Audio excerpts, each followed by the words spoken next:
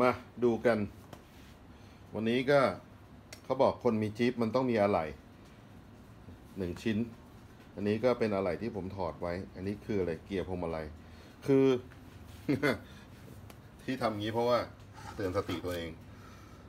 เกียร์เนี่ย ตัวเนี้ยตัวตัวนี้คือตัวปรับเวลาขับแล้วมันเลื้อยฝรั่งก็เรียกช่วงฟรีมันเยอะเพราะนั้นมันจะต้องมีตัวล็อกตัวนี้ก็คือใช้ประแจเบอร์ 16 16มิลนะ จี๊ปมันประสาทแดกรถเนี่ย มันต้องมีเกลียวมิลเกลียวนิ้ว เกลียวท็อกอะไรวุ่นวายหมดแต่ว่าอะตัวนี้เนี่ย เมื่อกี้ผมไปทำในรถ ผมก็ลืมดูไปจำได้ว่ามีมีตัว spare อยู่ก็มันเล่นได้ก่อน คือในรถเนี่ยมันเลื้อยดังนั้นอันเนี้ยเราต้องคลายน็อตตัวนี้ก่อนคลายน็อตเนี่ยคลายคลายอย่างนี้คลายยังไง คือเกลียวมันเป็นเกลียวซ้าย คือเกลียวซ้ายก็คือกลับกัน หมุนเข้าคือออก หมุนออกคือเข้า ใช่ไหมอันนี้ถ้าเราจะคลายตัวนี้เราต้องหมุนเกลียวหมุนเข้าก็คือหมุนไปทางนี้นี่คือการคลายเฮ้คลายไหม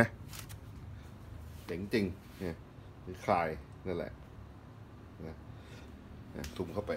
ก็คืออันนี้คลาย พอเราคลายตัวนี้เสร็จปุ๊บใช่ไหมอันนี้เราก็เอาประแจ อันนี้ก็ประแจสีเหลืองนะครับ ซึ่งเป็นเฮกประแจหกเหลี่ยมเป็นของอเมริกานะครับ ตอนนี้ก็เหมือนกันตัวในนี้ก็เหมือนกัน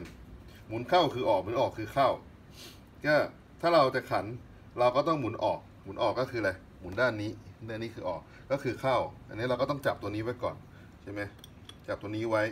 แล้วเราก็หมุนออกไปก็คือการตั้ง ให้มันลึกมันก็จะเข้าลึก เพราะฉะนั้นพอเราเราหมุนแล้วเราก็ไปลองขับนะแล้วเราก็ตอนนี้เราก็วิธีการล็อกก็คือต้องหมุนออก มันจะมันจะงงงๆก็คือล็อกตำแหน่งไว้ ทางที่ดีพวกคุณคืนควรจะมี marking ปากกาเขียนไว้ว่า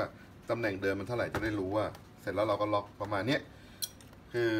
การถอดก็คือถอดหม้อน้ำเดี๋ยวค่อยทำวิดีโอชุดหนึ่งมาผสมนะครับ ประมาณนี้อันนี้คือชุดของเกียร์พวงมาลัยนะครับ ก็ที่คนจี๊ปก็จะเจอกันประจำนะครับ โอเคนะครับ วันนี้แค่นี้ เตือนสติตัวเองว่ามันมีเทคนิคเล็กๆน้อยๆที่เราไม่รู้